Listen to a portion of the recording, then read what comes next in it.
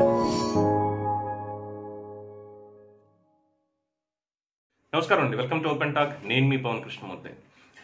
దీపావళి సందర్భంగా నరసాపురం ఎంపీ రఘురామ కృష్ణరాజు గారు వెలిగించినటువంటి చిచ్చుబుడ్డి. ఎందుకంటే మా గోదావరికి చిచ్చుబుడ్లు బాగా ఫేమస్ అండి అక్కడ. చక్కగా మట్టితోటి కుండలు చేసి చిన్న చిన్నవి మట్టి చిచ్చుబుడ్లు దాంట్లో మంచిగా మందంతా కూరి వెలిగిస్తే ఆ వెలుగు వేరు దాని హీట్ వేరు. ఇంకా చెప్పడం కష్టం అనుకుంటా. అన్ని ఇప్పుడు చిన్ననాటి గుర్తులు అవన్నీ ఇప్పుడంటే మొత్తం పేపర్లు ప్లాస్టిక్ వీటిలో వచ్చేసాయి. మట్టి ముంతలు ఎక్కడ దొరకట్లేదు. చేసేవి చాలా తక్కువ అయిపోయాయి మట్టి బుడ్లు. సో రాజుగారు తన మాటలతోటే ఈ దీపావళికి పేల్చేశారు. జగన్మోహన్ రెడ్డి చస్తే ఆ పని చెయ్యలేడు. నిజంగానే ఆ పని జగన్మోహన్ రెడ్డి చేయలేడని చెప్పేశారు. ఏంటి అని చూస్తే దాదాపుగా మనం ఒక ఐదు నెలలు ఆరు నెలల నుంచి కూడా మంత్రివర్గ పునర్వ్యవస్థీకరణ గురించి మాట్లాడుకుంటున్నాం.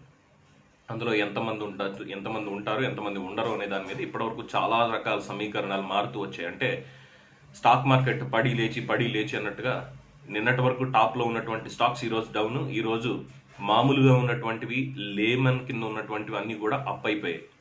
సో అలాగా మంత్రివర్గంలో కూడా ఉన్నటువంటి వాళ్ళలో మొత్తం అందరూ మొత్తం ఆశావహులు ఎవరైతే ఉన్నారో వాళ్ళు అందరికీ సంబంధించినటువంటిది.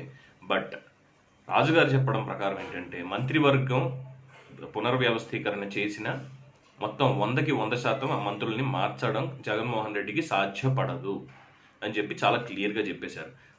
ఇది బయట నుంచే కాదు మొత్తం అందరూ చెప్తున్నటువంటి విషయమే. ఖచ్చితంగా తీయడానికి లేదు. ఒకవేళ తీయాలి అని అనుకున్నా సరే ఇమ్మీడియట్గా ఇంకా పార్టీలో చాలా గట్టిగానే ఉంటుంది. వ్యతిరేకత అనేది జగన్మోహన్ రెడ్డికి. ఎందుకంటే బొత్స సత్యనారాయణ కావచ్చు పెద్దిరెడ్డి రామచంద్రారెడ్డి కావచ్చు వీళ్ళిద్దరూ కూడా చాలా సీనియర్ మోస్ట్ రాజకీయ నేతలు రాజకీయ అనుభవం ఉన్నవాళ్ళు మంత్రులుగా పనిచేసిన వాళ్ళు మంత్రులుగా ఉన్నటువంటి వాళ్ళు ఇప్పుడు. వీళ్ళని తీసేసి వీళ్ళ ప్లేస్లో కొత్త వాళ్ళని పెడతాము అంటే ఒప్పుకునేటువంటి పరిస్థితి ఉండదు. డెఫినెట్గా ఉండదు. ఎందుకంటే మనం గతంలో కూడా ఒకసారి అనుకున్నాం. వైఎస్ఆర్సీపీలో పవర్ సెంటర్స్ ఎన్ని ఉన్నాయి అంటే మొత్తం ఓవరాల్గా జగన్మోహన్ రెడ్డే కీ పాయింట్. ఒకవేళ జగన్మోహన్ రెడ్డి లేడు అనుకుంటే కనుక పార్టీని నడిపించేది ఎవరు?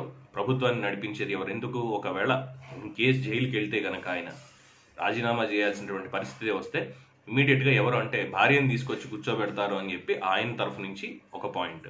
కాదు పార్టీలో ఇంత ఉండి ఇంత చేసి ఏమనుకుంటున్నారు మీరు? మేము ఎవరం పెద్దవాళ్ళం కాదా అన్నటువంటి ఒక పాయింట్తో ఇటు పెద్దిరెడ్డి రామచంద్రారెడ్డి గారు అలాగే బొత్స సత్యనారాయణ గారు ఖచ్చితంగా సీఎం రేస్లో ఉంటారు. So power centre field. ఇది కాకుండా అనధికార ముఖ్యమంత్రిగా వెలుగొందుతున్నటువంటి ఇంకో ఇద్దరు ఉన్నారు. ఒకటి విజయసాయి రెడ్డి రెండు సజ్జల రామకృష్ణారెడ్డి. వీళ్ళతోటి ఖచ్చితంగా కాస్త హీట్ అనేది పెరుగుతుంది. బొత్స సత్యనారాయణని పక్కకి లాగేస్తారు. పెద్దిరెడ్డి రామచంద్రారెడ్డి గారిని సైడ్ చేయడానికి ఇతోధికంగా వాళ్ళు ప్రయత్నిస్తారు.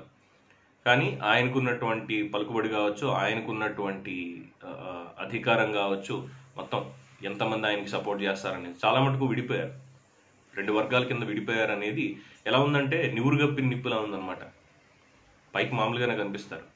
ఎవరికి వాళ్ళు ఎవరి వర్గంలో ఎంతమంది ఉన్నారు ఏంటనేది అందరికీ తెలిసినటువంటి బహిరంగ రహస్యమే. సో వీళ్ళిద్దరిని తీసేస్తే రాజకీయం జగన్మోహన్ రెడ్డికి అంత సులువుగా ఉండదని హెచ్చరిస్తున్నారు. జగన్ వాళ్ళని తొలగించడానికే మొత్తం క్యాబినెట్ని ప్రక్షాళన చేస్తారు అన్న అభిప్రాయం ఆ, బయటికి వచ్చేలా చేశారు.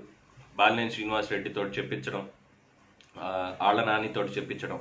అంటే మంత్రులుగా ఎవరు ఉండరు. కొత్త వాళ్ళు వస్తారు. మొత్తం వంద శాతం కొత్త మంత్రులే ఉంటారు. ఈ రెండున్నరేళ్ళ పా- పాలనకి సంబంధించి అని చెప్పి చెప్పడం అంటే ఉన్న వాళ్ళందరికీ చెక్ పెట్టడమే. కానీ ఇప్పుడున్నటువంటి పరిస్థితుల్లో అంత ఈజీ అయితే ఖచ్చితంగా కాదని చెప్తున్నారు. పేరుకే పదవులు కానీ ఈ ఖర్చు అయ్యే బాధ్యతలు మాత్రమే తమకు అప్పగిస్తున్నారని ఇక ఏ అధికారాలు లభించడం లేదని ఇప్పటివరకు ఉన్నటువంటి వాళ్ళు చాలామంది ఒక అసంతృప్తిలో ఉన్నారు.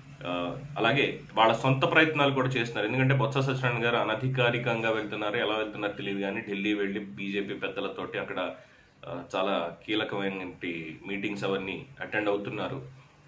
అలాగే సామాజిక సమీకరణాల ప్రకారం కూడా సామాజిక సమీకరణ ప్రకారం కూడా చాలా మంత్రాంగం నడుస్తోంది వెనకాల అనేటువంటిది వీటన్నిటి నేపథ్యం. ఇది కాకుండా ప్రజల్లో ఉన్నటువంటి వ్యతిరేకత ప్రభుత్వం మీద ప్లస్ వాళ్ళ ఎమ్మెల్యేల మీద మొత్తం అందరి మీద మంత్రుల మీద ఎంపీల మీద కూడా ప్రజల్లో ఉన్నటువంటి వ్యతిరేకత.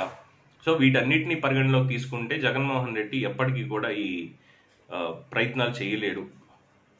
అసలు ఈ మంత్రివర్గాన్ని టచ్ చేయాలి చేస్తే మహా అయితే కొంతమందిని తప్పించి కొంతమందిని ప్రమోట్ చేయడం కొత్త వాళ్ళకి అవకాశం ఇవ్వడం అన్నటువంటి పాయింటే తప్ప ఇంకంతకుమించి ఆయన చేసేది ఏమీ లేదు చెయ్యలేరు కూడా అని చెప్పి రఘురామకృష్ణరాజు గారు సవాల్ చేస్తున్నారు.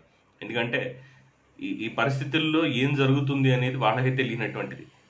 అసలు ఎలా ఉండబోతోంది అనేది. ప్రస్తుతానికైతే ఈ కోర్టు కేసులని ఇంకోటి ఏదో నడుస్తున్నాయి. కానీ ఒక టైం దాటిన తర్వాత కంట్రోల్ చేయడం ఎవరి వల్ల కాదు. సో ఆ మూమెంట్ వచ్చేసరికి కేంద్రం కూడా గట్టిగానే చర్యలు తీసుకోవాల్సినటువంటి పరిస్థితిలో పడుతుంది. అప్పుడు జగన్మోహన్ రెడ్డికి కష్టాలు మొదలవుతాయి. అయితే ఈ టైంలోనే ఇప్పుడు వీళ్ళందరూ కూడా ఏదో మాట్లాడుతున్నారు చేస్తున్నారు. కానీ లోపల అసంతృప్తి గూడు కట్టుకుని ఉంది అన్న పాయింట్ తోటే జగన్మోహన్ రెడ్డిని మరింత రెచ్చగొట్టేందుకే రఘురామకృష్ణరాజు గారు ఈ ప్రక్షాళన దీని మీద మాట్లాడుతున్నారు అని చెప్పి అభిప్రాయాలు వినిపిస్తున్నా కూడా. వైఎస్ఆర్సీపీలోనే అంతర్గతంగా జరుగుతున్నటువంటి అనేక చర్చల్లో మంత్రివర్గ విస్తరణకు సంబంధించి పునర్వ్యవస్థీకరణకు సంబంధించి ఈసారి ఎవరు అవుట్ అవుతారు ఎవరు కొత్తగా వస్తారు అన్నదానికి ఎవరు ఏ బాధ్యతలను ఎత్తికేసుకుంటారో అన్నదానికి ఎవరి దగ్గర కూడా క్లారిఫికేషన్ అనేది లేదు. సో మంత్రివర్గ పునర్వ్యవస్థీకరణ ఉండకపోవచ్చు అనేటువంటిది. ఎందుకంటే ఇప్పుడు చేస్తున్నటువంటి దాడిని ఇలాగే కొనసాగించాలి అన్నటువంటి ఒక ఉద్దేశంతో జగన్మోహన్ రెడ్డి ఉన్నట్టుగా అంచనాలు ఉన్నాయి.